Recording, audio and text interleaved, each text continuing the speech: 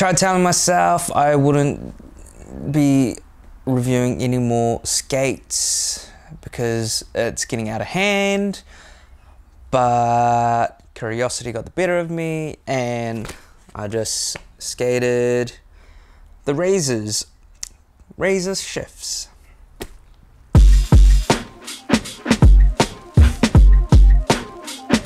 Let's talk about what comes on the shifts. These are the camo edition. Uh, they came out just before the Jeph Howard Pro model. Um, pretty much the same setup, um, but just a different color and different wheels. That's pretty much it. You'll notice here I've actually swapped out the liner. Um, this is an old Reign liner that uh, came with my Derek Henderson's and the shifts actually come with the V3 camo Reign liner. Um, so it's essentially the same liner, just different color. Um, I've got more liners than skates at the moment, so I'm gonna try and sell the camo liners. Um, yeah, and just use these because it's the same thing. Anyway, so the shifts are a boot that they made after the SLs, I think, but don't quote me on that. New soles, it's a one one piece sole plate. Um, once you take out the screws, you can actually push these buttons in to quickly swap them out and chuck on well basically another big like if you had a big wheel setup or something on another sole and just click them in. Um, that's what they're quite well known for for this boot. But anyway what's pretty cool is they come with a flat setup with their ground control was it flat 4 FLT 4 frame which is the latest frame they came out with a couple of years ago I think maybe a year, year and a half ago I don't know time fly. Time, time flies man. It's almost Christmas. Anyway um, which I personally have not skated until now. Um, and I've wanted to but there's certain reasons why I haven't. It has a bit of wheel bite protection um, as well as if you actually take uh, uh, if you actually take this frame off you can replace this grind block here this H block you can replace that once that wears out there's just a couple of screws on the other side that really holds them in uh, 60 millimeter ground control wheels uh, that are like a yeah bullet shape which works really well. And yeah, whatever, what do they come with? ABEC 5 bearings or something? Yeah. Yeah, most of the time when it comes to buying skates, rocking things stock usually sucks. But I was pleasantly surprised uh, with how fast these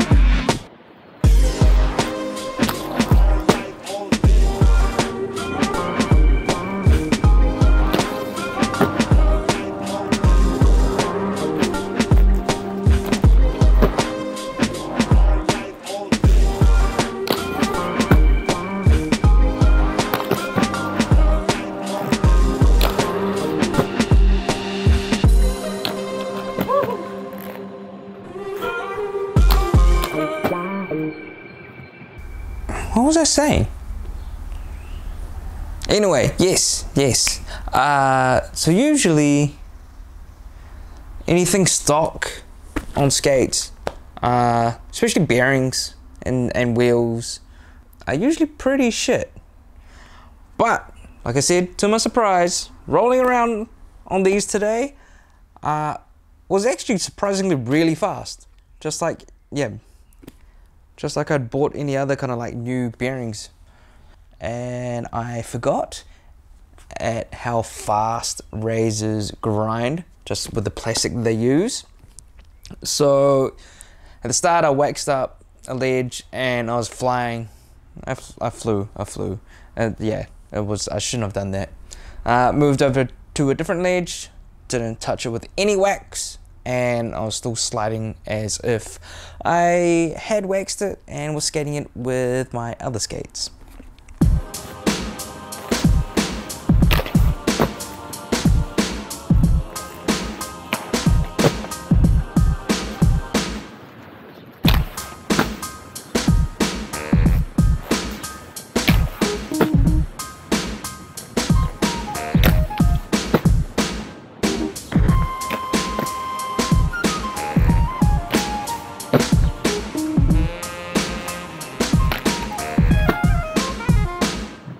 Let's talk about the boot, I guess. The boot is, well, it seems like it's an amalgamation of the Razor Colt and the Razor SL. So it's kind of narrow and snug, like the Colt, but has the benefits of the SL boot with that shock protection or that heel pad that they have in there, which I really dig. So this is the best of both worlds. Groove is awesome.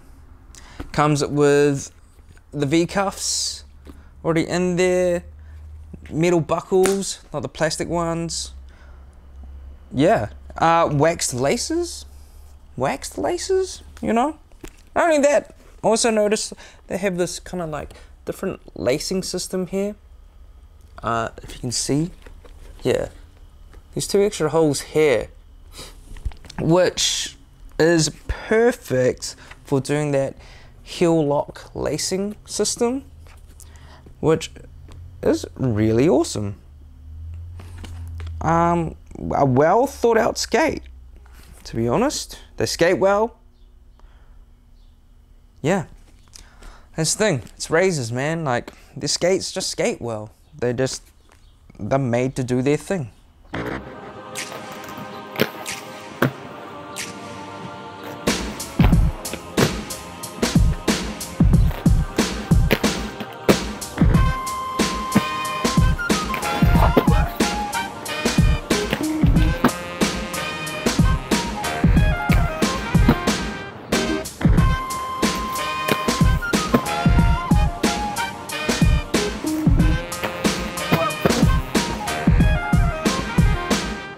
Uh, okay, so back to the frames. Back to the frames. It's got this wheel bite protection, which makes them really, really nice to skate. Uh, it's got a decent groove, not too small, not too big. Yeah. Now, I like I said before, I have wanted to skate these in the past, especially when they first came out.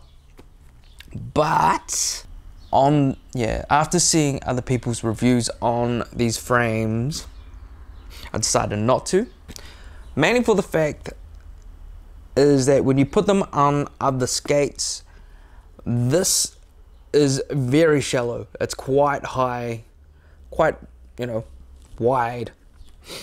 Now, why they work for razor skates is because of the sole plates here how they are kind of cut out and they've got this like a recess. So technically, these are closer to your feet, making them more responsive. Not only that, it gives you that, I don't know, just a little bit less of a little, yeah, a little bit less width as if you would put a little less width when you have them on the razors compared to having them on other skates Because if you had them on other skates, you would have an extra, I don't know, five, six millimeters of that being higher up. And by doing that, when you grind, say Royales to get boot down, you definitely have to bone over more, really tweak those uh, knees and those ankles, which is all good if you can and you're flexible enough. But for someone like me and, and, and others uh, that are not as young as we once were, um, yeah, nah, I'm cool, thanks. No, no, no. I like to have it to be a quite a nice 45 degree ish angle to get boot down. I want to have a fun time and not try too hard, if you know what I mean. Uh, so yeah, first session, they skated well, man. They skated well. The razors, I'm like, I didn't expect anything less.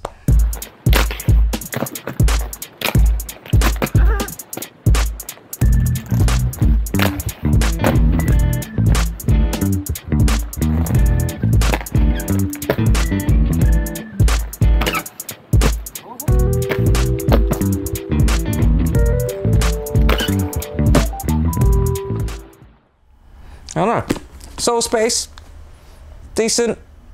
It's got a nice sole. It's not too big, not too wide, but then also not too narrow. So it's a, it's a good compromise. Negatives, uh, yeah, they're pretty minimal, but you don't really need that much of a negative space. Just get on top of that grind properly and should be sweet.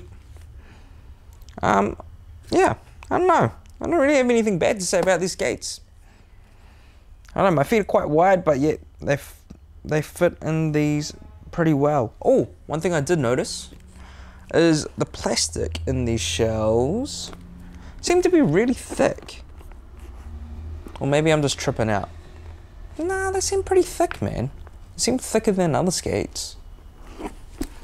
Yeah.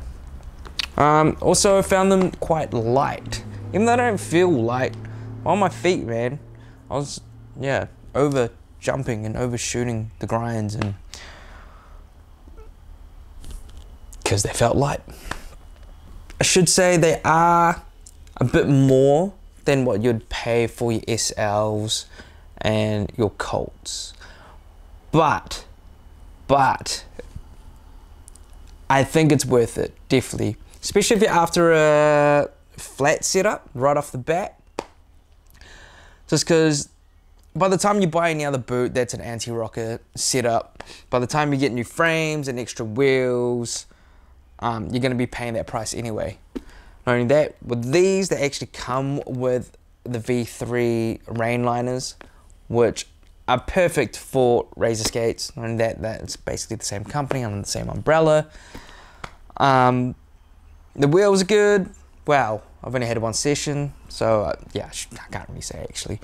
But rolling around on them with the bearings that they come with, like I was, I was honing it, man. It was yeah.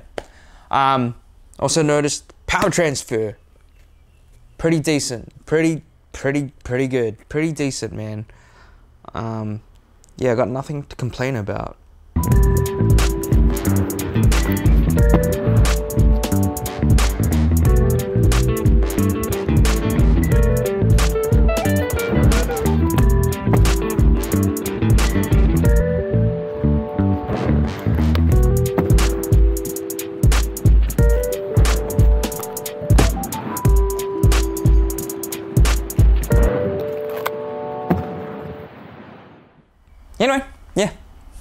My thoughts.